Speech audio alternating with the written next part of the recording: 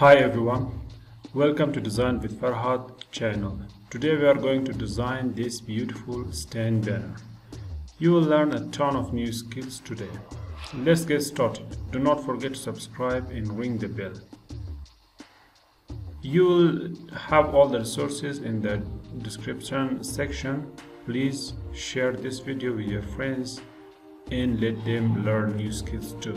Thank you.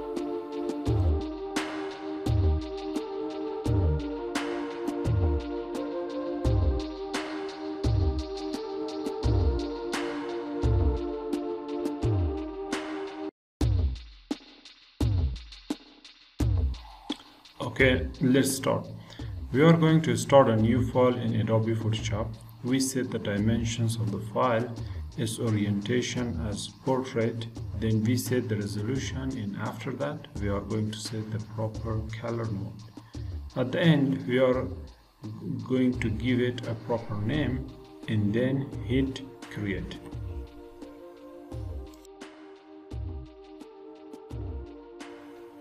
First, save your file to a safe and secure location on your computer. It is a good practice to get used to save your file occasionally during work. It will save you from any probable crash of unexpected exit of your computer or your program. Always remember to hit Ctrl S often during your work. After saving your file, the most important thing is to set two primary colors that you will be using in the design. These two colors will guide the whole feel and look of the banner. You can use different tints of it in your design, but you should be cautious of not using too many. Here we are using two colors, orange and red light. First we are going to place this color sample on the page in a separate layer to reference later and work faster.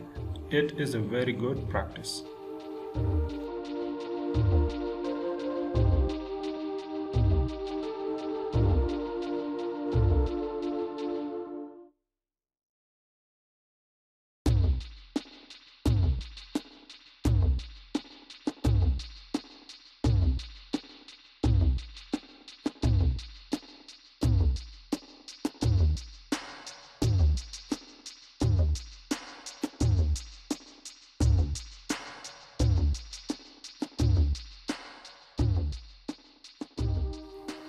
Okay, now that the canvas is ready, we are going to start our design by separating the file in two parts, upper and lower.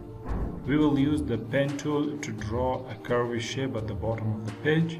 When finished, we will set the color by sampling to the original color of the reference. Here we use the orange color.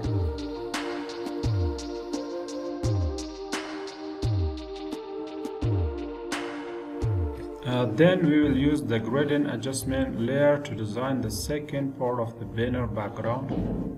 We will place that layer to its proper position. Then we will go to the settings of the adjustment layer by clicking on its icon and play with settings to achieve the desired color combination. First, we will reference to the light red color reference we have on the page and then work with its tints to give the background color a proper variation. Do not use more than three tints of the color. Play with lighter and darker colors to give depth and dimension to the background. Two or maybe three is enough.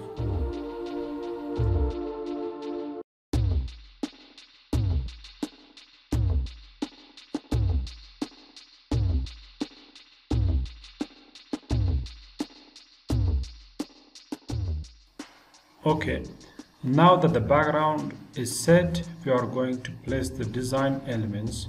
We will open the assets from our computer storage drag them to our design canvas work with their position size and priority.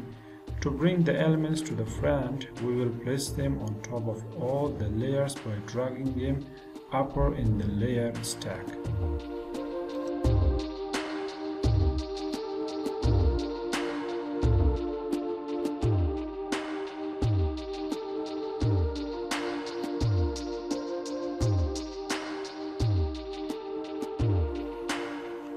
To give more depth fill to our background, we will place two dark shades of the red color on the red background. To keep things non-destructive, we will place each of the shade in a different separate layer. It will help later if we decide to change our mind. We take the red sample and work on the choosing different shades of red. We will take the brush, adjust its size and hardness by right clicking or just using its shortcut right and left brackets.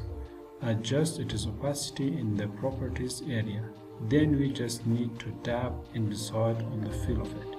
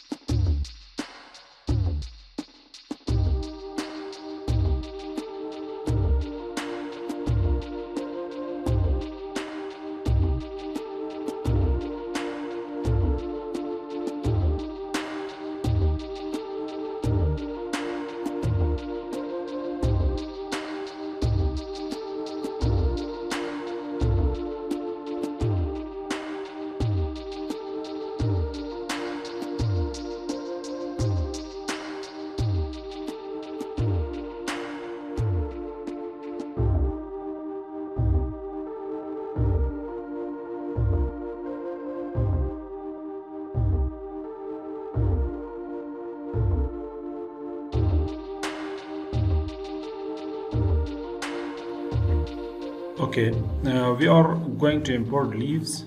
It has a white background. So I'll have to use a selection method and mask the background out. And then drag the leaf to the design canvas and adjust its position size opacity accordingly. Copy multiple times and place each in a proper position over the background. It adds fresh feel and atmosphere to our design then we will add a tomato plus a slice of it to get even more freshness in sauce. It will really boost up the design attraction.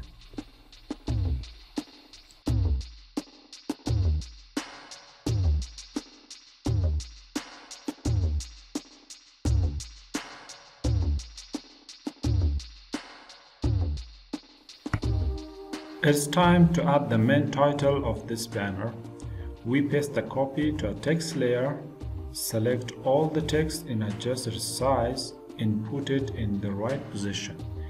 Give it a color. For this matter, we need the text properties panel, so we open it from the window menu.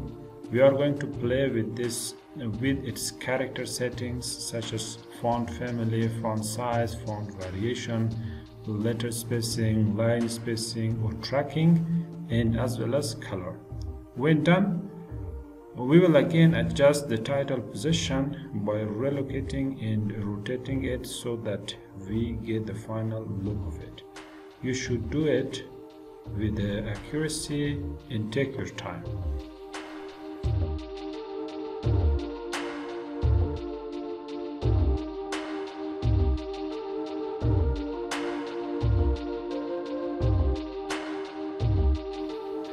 So that's it.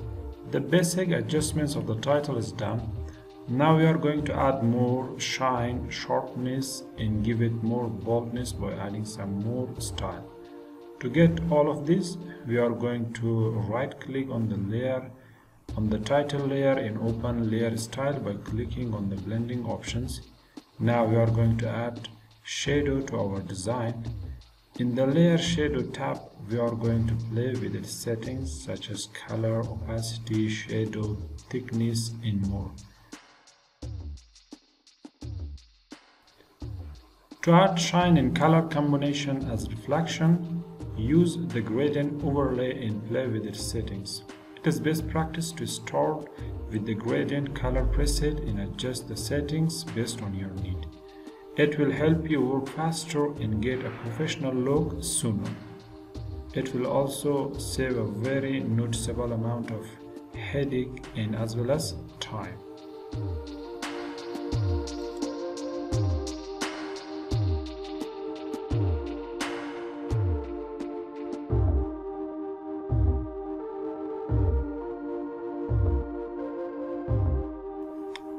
Okay, some final adjustments to the title in the elements around it. We are going to reposition the title, make it a little bigger and put it in a better suited position. Now we are going to readjust the other elements in relation to the title so it gives a better impression.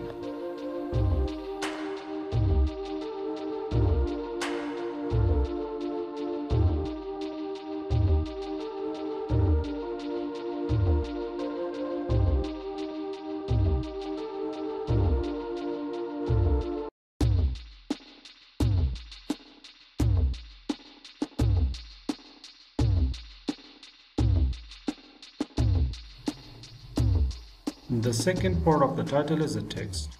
We are now going to work on this element by copying the text, add it in a separate layer. We will have the room to work on it.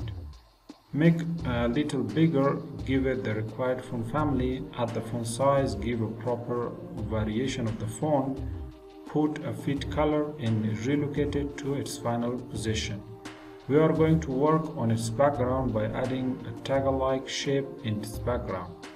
Give the background a tint of the orange color and, uh, and rotate it to fit the design and work on this look until it fits the overall design.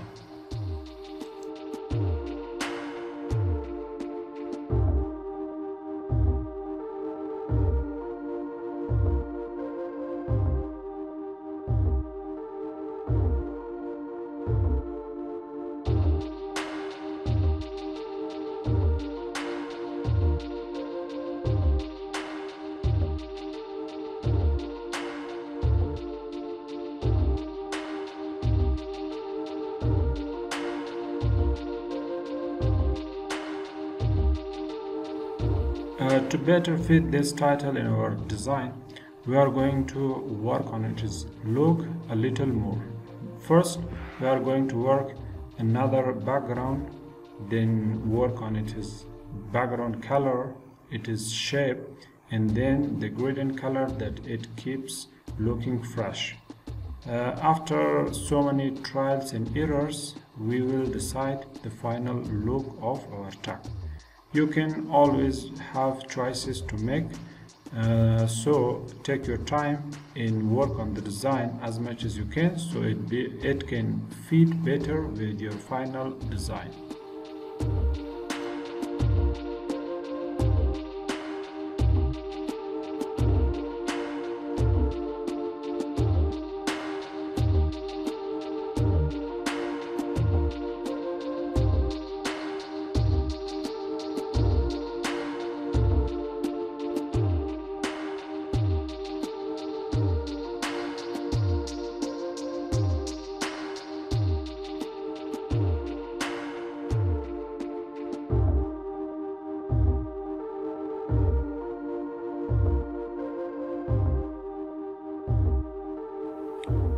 In this step, it's time to add the contact information to our banner.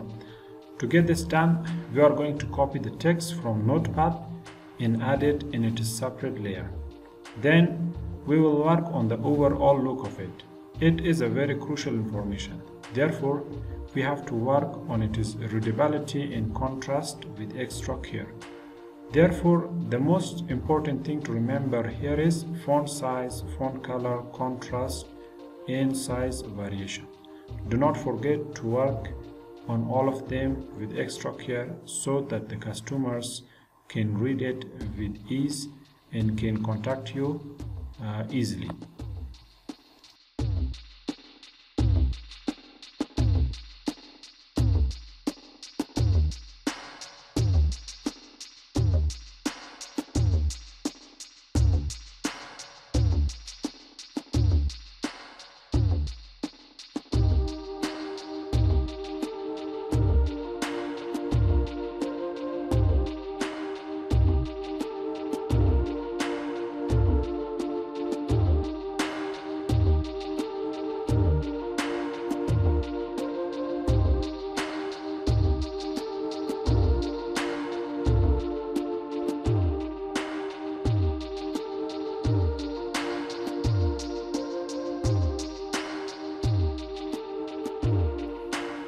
So here you are.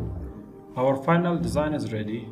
To go the extra limit, we are going to work on its final look by taking a little more time. Give the final touches on all the elements of our design. In this extra time, we should look to our design from a distance, then we can find the needed adjustments clearly. Here, we tweak a little of everything from rotation to relocation and from color adjustments to shadows into lighting. Take your time, work for a little more so you get the perfect design ready.